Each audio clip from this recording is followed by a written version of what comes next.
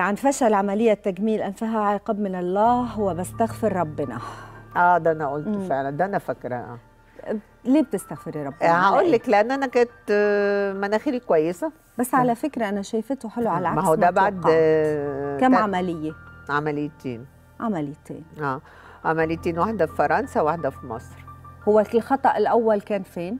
في مصر مم. حصل آه تحديدا؟ ما كانش فيها حاجة أنا كنت already قبل ما أخش الوسط عاملاها عند الدكتور كويس قوي بس هو كان غاوي نيكول كيدمان آه فكان عامل الم- أيوه. رفعه الرومانية دي ال over كانت تبان في ال profile طالعة قوي فأنا كنت عايزة أشيلها فاختلفت مع الدكتور الرئيسي في المواعيد كنت. داخلة فيلم فقلت الدكتور له CV كويس قوي يعني. المفروض إنه خريج آه، باريس ومفروض إنه بابا رئيس آه، كان وقتها رئيس التجميل في مصر.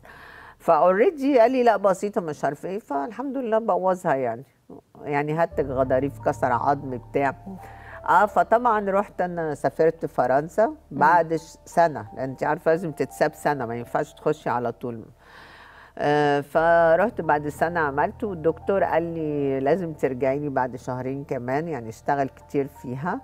وشهرين كمان عشان أظبط حاجة تانية. ما كانش قادرة أنا الظروف معايا ما كانتش سامحة. فعرفت بقى في دكتور هناك الملحق الطبي في فرنسا قال لي على اسم دكتور عالمي يعني عندنا مم. في مصر. فرحت له وظبطها وخلاص يعني مم. بس تعبت يعني. ليه بقى أنا قلت من ربنا؟ علشان هي كانت okay. أنا. كنت مستعجلة قوي كده ليه؟ ما أنا اشتغلت بيها 10 سنين. آه. ليه يعني؟ فاهمة إزاي؟ آه.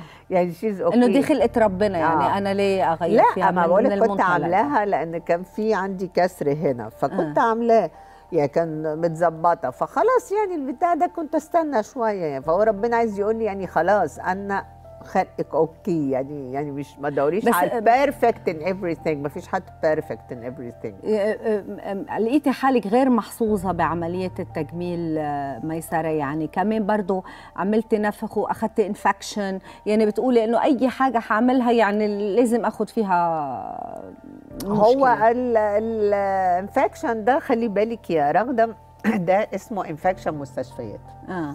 ده بيجي من التعقيم هي actually ما كانتش غلطه الدكتور كانت غلطه التعقيم الممرضين اللي قبله ما عقموش ال material صح. كنت عاملة إيه أنت تحديدا؟ كنت حاطة حقن دهون.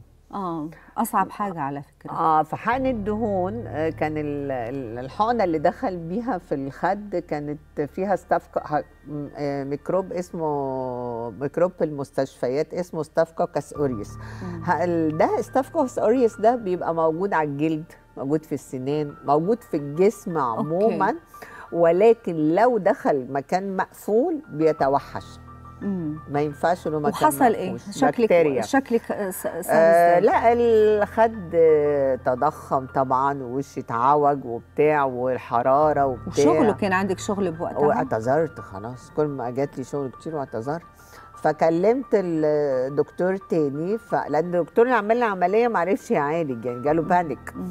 آه، كلمت دكتور تاني هو أول ما شافني قال لي ده infection. انت عملتي حقن دهون؟ قلت له آه. فقال لي لا ده انفكشن لازم نفتح وأنا ما رضيتش بقى لغاية ما جالي تسمم في الجسم ودخلت المستشفى وفتح. فتح يخرج آه كل آه القديم قعدت قعدت أسبوعين في المستشفى. قد إيه كانت نفسيتك وقتها؟ متأثرة؟ لا تمام. ما ما تضايقتيش يعني؟ طبعا وقتها تعبت آه، جسديا بس حمدت ربنا إنها جت لغاية كده لأن هو قال لي من الأول يا ميسره تعالي نلحقها. وأنا اللي رفضت. آه. مم. كنت خايفة ترجعي تدخلي وغرفة عمليات و لا كنت خايفة يفتح في وشي. آه فاهمة إزاي. ف already قال لي مش هتبان خالص يعني. وصدقيني يعني كمان شهر هتلم ومش بس الحمد. لله دلوقتي آه، آه. آه. الحمد لله بقى خلاص. تمام خلاص خلاص اوعى بقى اشوفك دخلتي حد أو حد عارفة إن ال staphylococcus